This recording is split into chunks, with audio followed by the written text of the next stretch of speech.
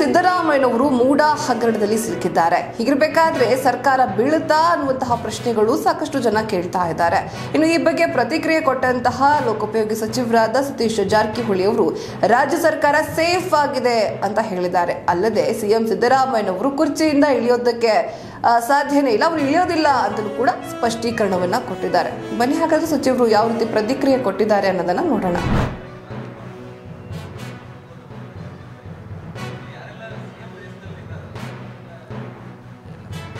ಏನು ನೋಡಿ ಎನ್ಕ್ವೈರಿ ಮಾಡಲಿಕ್ಕೆ ಯಾರು ಬೇಡನಲ್ಲ ಮಾಡಲೇಬೇಕು ಆರೋಪ ಅಂದಾಗ ಸೊ ಮಾಡ್ಲಿಕ್ಕೆ ಯಾರು ಕೂಡ ತಕರಲ್ಲ ಮಾಡಲಿ ಮಾಡಲಿ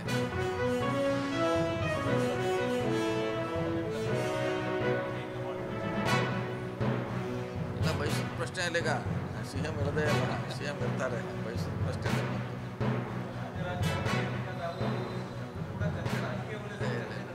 ನಮ್ಮ ವಲಯದಲ್ಲಿ ಇಲ್ಲ ಅವರೇ ಮುಂದುವರಿತಾರೆ ಅಂತ ಅಷ್ಟೇ ಇದೆ ನಮ್ಮ ವಲಯದಲ್ಲಿ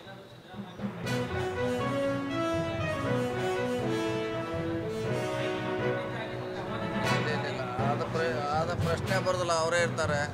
ಅವರೇ ಇರ್ತಾರೆ ಮುಂದುವರಿತಾರೆ ಅದನ್ನು ನಿಲ್ಲಿಸೋದೇ ಇಲ್ಲಿ ಪ್ರಶ್ನೆ ಮತ್ತೆ.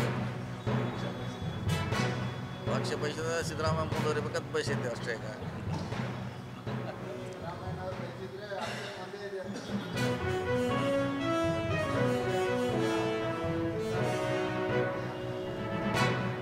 ಅವ್ರು ಇಳಿದಿಲ್ಲ ಅವ್ರು ಇಳಿದ್ಮ್ಯಾಗ ಅವರು ಇಳಿದಿಲ್ಲ ಅವರು ಮುಂದುವರಿತಾರೆ.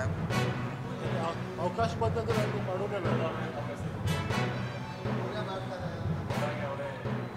ಅದು ಬೇರೆ ವಿಷಯ, ಅದಕ್ಕೆ ಬೇರೆ ಬೇರೆ ಮಾನದಂಡ ಇದೆ, ಅದು ಬೇರೆ ವಿಷಯ. ಇಲ್ಲಿ ಈಗ ಬರಲ್ಲ, ಈಗ ಅವರೇ ಇರ್ತಾರೆ ಅಷ್ಟೇ